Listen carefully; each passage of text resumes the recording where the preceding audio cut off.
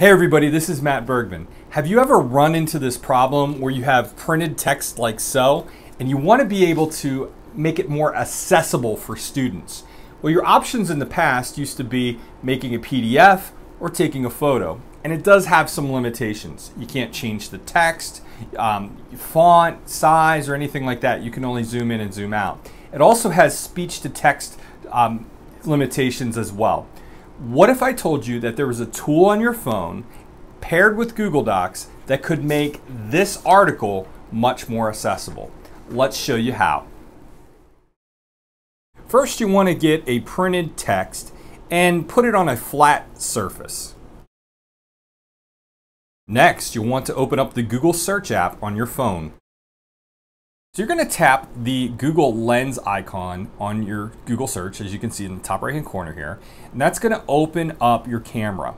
You're going to scan it over top of the text and choose text. Now it's going to recognize the text here, as you can see it's in white, and I'm going to choose select all.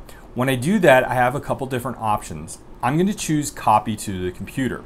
And when I open up my computer, I need to make sure that it's the same account that I'm using with Google Search app and I can paste text. Isn't that cool? So now I can change the font as well. I'm just going to select all and I'm going to go to more fonts and look for a font called Lexend. Lexend is great for readers who struggle with reading or have, maybe have dyslexia. I can go ahead and change that and change it to Lexend, and I can add additional things like hyperlinks or even make modifications to the text.